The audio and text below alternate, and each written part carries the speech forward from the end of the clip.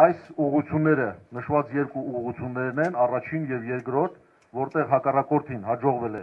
մինչև 1.5 կիլոմետր եւ ավելի քան 2.5 կիլոմետր ուղղությամբ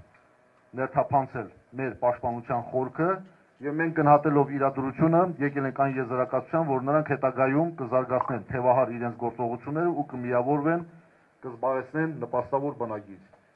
Նշված իրավիճակում գնահատելով հրամանատարության որոշմամբ խումբը դուրս է եկել շրջան խնդիր կատարելու նպատակով ու գրանցվել է այդ միջադեպը։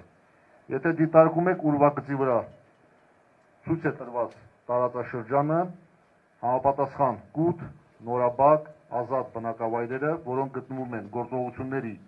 շրջանից անմիջական շփման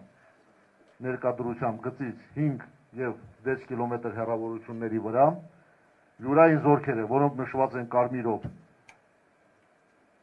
կանգնեցրել են հակառակորդի գործողությունները եւ ստեղծված են համապատասխան պայմաններ։ Արդեն իսկ ներկա դրությամբ մինչև իմ այստեղ բարձրանալը մեր ստորաբաժանումները նաև թևահար համապատասխան հենակետեր են տեղադրել եւ հակառակորդը երրակողմ կարելի ասած գտնվում է շրջափակման մեջ, ունի մեկ սնուցման ճանապարհ, որը գալիս է իրենց թիկունքից, այսինքն Խարվաճարի շրջանից դա ստեղծված իրավիճակն է, որը ես ներկայացրեցի ձեզ։